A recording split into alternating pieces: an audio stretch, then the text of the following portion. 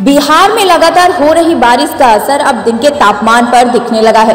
राज्य का अधिकतम तापमान लगभग 8 डिग्री से कम हो गया है।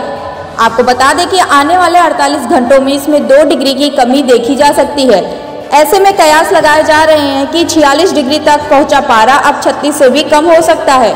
मौसम विभाग ने आने वाले 48 घंटों में राज्य में तेज हवा के साथ बारिश का अलर्ट भी जारी किया है। बिहार में लगातार दो दिनों से अलग अलग क्षेत्रों में हल्की से मध्यम बारिश हो रही है।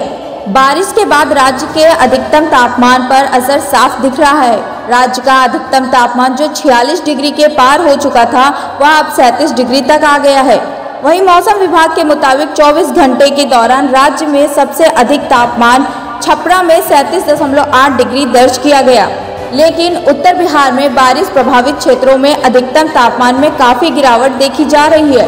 बारिश का ऐसा हाल रहा तो आने वाले 24 से 48 घंटों में तापमान और भी कम हो सकता है। मौसम विभाग के मुताबिक राज्य में अभी भी पूर्वी एवं दक्षिण पूर्वी हवा का प्रभाव जारी है। 10 से 12 किलोमीटर प्रति घंटे की रफ्तार से चलने वाली इन हवाओं के प्रभाव से मौसम प्रभावित हो रहा है।